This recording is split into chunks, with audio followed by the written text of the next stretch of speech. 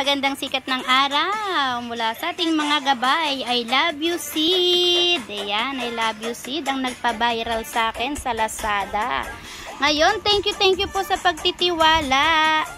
Yan, sa nagtiwala po, maraming maraming salamat po sa pagkuha ng 50 bottles ng aking I love you seed. Ayan, ang I love you seed ay tinawag ko po itong I love you seed dahil sa yan, kulay itim niyang buto pero may heart shape na puti.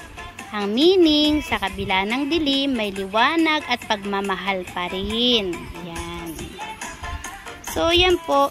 Kahit ito'y buto na nakukuha sa ating paligid o mga damo-damo kung sabihin ng iba, ito naman po ay mayroon ng basbas.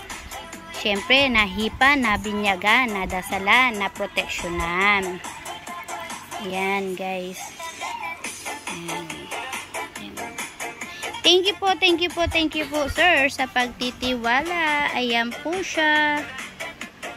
Pwedeng mag-wish sa isang buto o tatlong buto, ibulong mo ang kahilingan mo at itapon mo sa likuran mo. Pero kung ayaw mo, itago mo na lang at lagi mong daladala. Yan. Thank you po.